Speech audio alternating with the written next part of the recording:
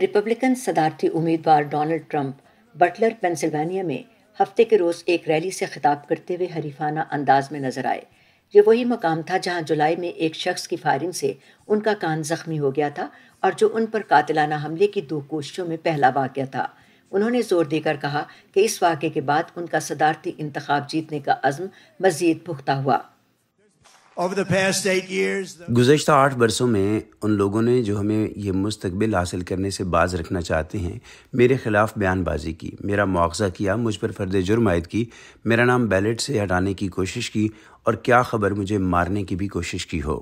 ایوانی نمائندگان کے speaker Mike Johnson سے ڈونلڈ ٹرمپ اور اختتام ہفتہ ان کے بیٹے ایرک کے بیانات پر تبصرے کے لیے کہا گیا۔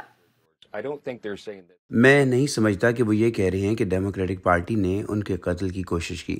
میرا خیال ہے کہ وہ اس جانب اشارہ کر رہے ہیں جو ہم سب کہتے رہے ہیں۔ انہیں بیانات کی تندی کم کرنا ہوگی۔ اسی دوران ڈیموکریٹک صدارتی امیدوار کاملا ہیرس نائب صدر کی حیثیت سے اپنے فرائض اور انتخابی مہم کی مصروفیات دونوں سے نمٹنے کی کوشش کرتی رہی ہیں۔ ہفتے کے روز وہ نارتھ کیرولائنا میں تھیں جہاں انہوں نے طوفان ہیلین سے متاثرہ لوگوں کو وفاقی امداد دینے کا وعدہ کیا۔ یہ آخر تک بہت سخت مقابلہ ہوگا۔ ڈیموکریٹک رکن کانگریس ایڈم شف سے اتوار کو این بی سی کے پروگرام میٹ دا پریس میں پوچھا گیا کہ کیا وہ سمجھتے ہیں کہ کاملا ہیرس اور ڈیموکریٹس نومبر کے الیکشن میں بھاری اکثریت سے جیت جائیں گے؟ یہ دیکھتے ہوئے کہ ملک میں رائے کتنی منقسم ہے۔ ان کلیدی ریاستوں میں ہو سکتا ہے بھاری اکثریت سے جیت کے معنی ہوں ایک لاکھ ووٹوں یا اسی ہزار ووٹوں سے۔ وہ نوجوان جو پہلے دلچسپی نہیں رکھتے تھے اب انہیں اس میں دلچسپی ہے اور وہ فعال ہیں۔ رضاکارانہ طور پر کام کر رہی ہیں اس لیے میرا خیال ہے کہ ہم جیت سکتے ہیں مگر یہ سب اب کافی سخت مقابلہ ہے۔